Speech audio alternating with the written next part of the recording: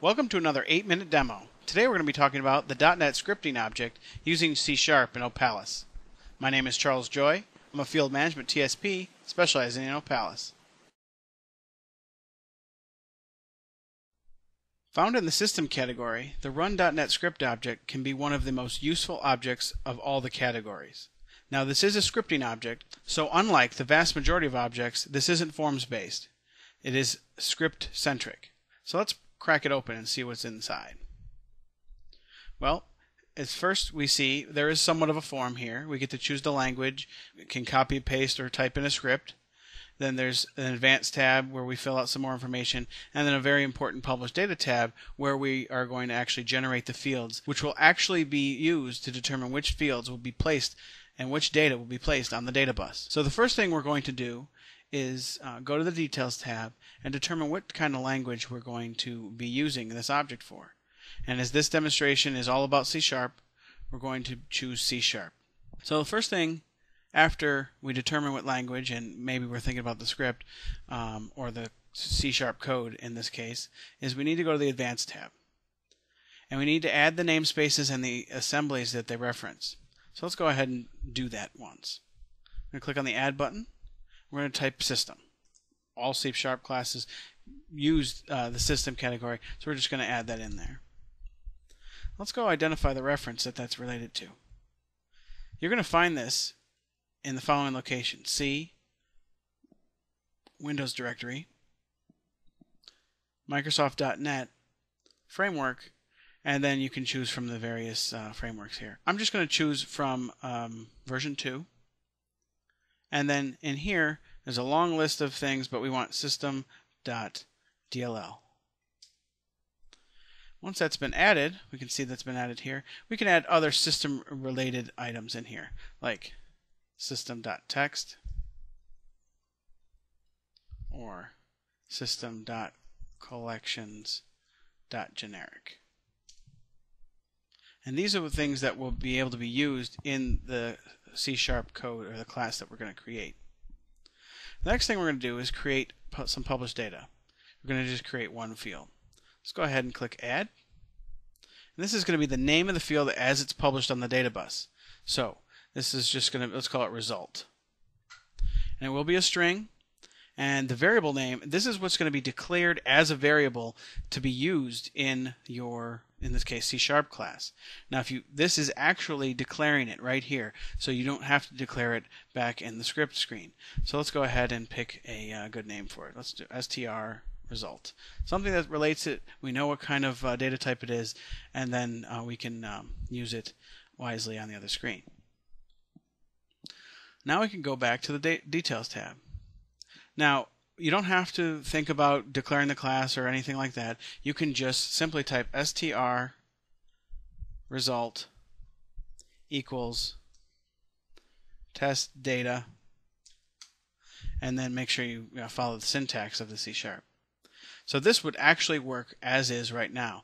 Now, all we're doing is hard coding the words test data into the results field.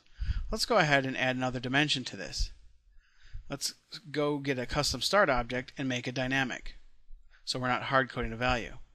So we're going to connect those up, create a parameter. It's called input.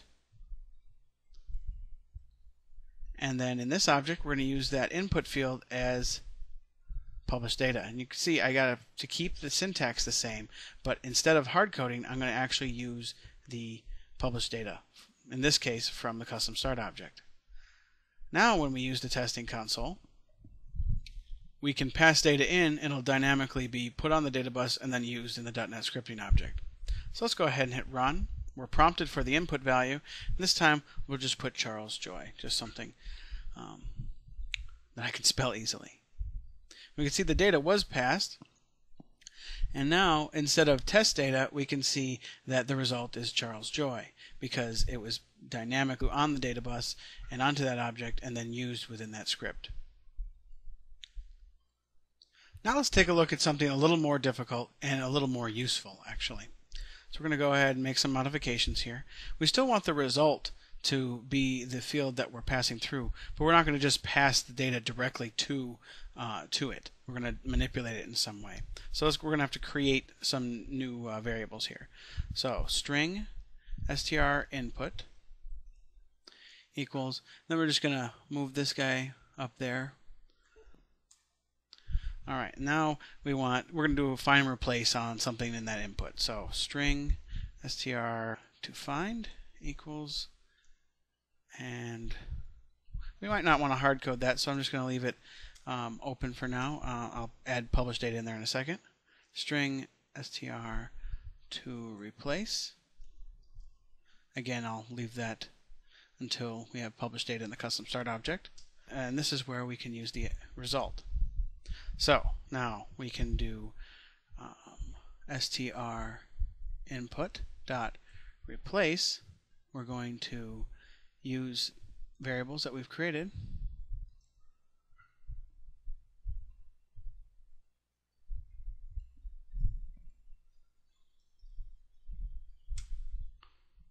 and then um, we could hit finish. We could add those two new fields in here. So this one's going to be to find, and this will be to replace. That way we can pass in the input, what we're looking for, and what we're going to replace it with. And then right click, subscribe, publish data to find. And then once again, right click, subscribe, publish data to replace. So we could make that look a little bit cleaner. All right, I think we're ready to test. Let's go ahead and hit the testing console and run. So the input will be Darth Vader is scary. And to find, we want to replace scary with not scary. Let's take a look if this works. Looks like we get success, so let's take a look. The result is Darth Vader is not scary, even though the input we entered was Darth Vader is scary. So the replace worked like a charm. Let's take a look at a practical example. I happen to have one here. In this example, we're parsing the WMI output from the query WMI object and then passing that data into the end process object. So let's take a look at the query WMI object. Pretty simple. We're essentially just selecting name from all the Win32 processes. From there, we're going to pass that output to the what I've named the parse WMI results object, but it's is just one of those .NET script objects. Let's open that up. And I'll use expand so we can take a better look. What I've done here is I've declared a string, which is the results, and I'm bringing in all the results from that query. And then I'm creating an array called results I'm going to split that array based on new lines or carriage returns. And then I'm going to iterate through each one of those array pieces and create an addition to an actual list that I've created here. And that list was declared over in the published data.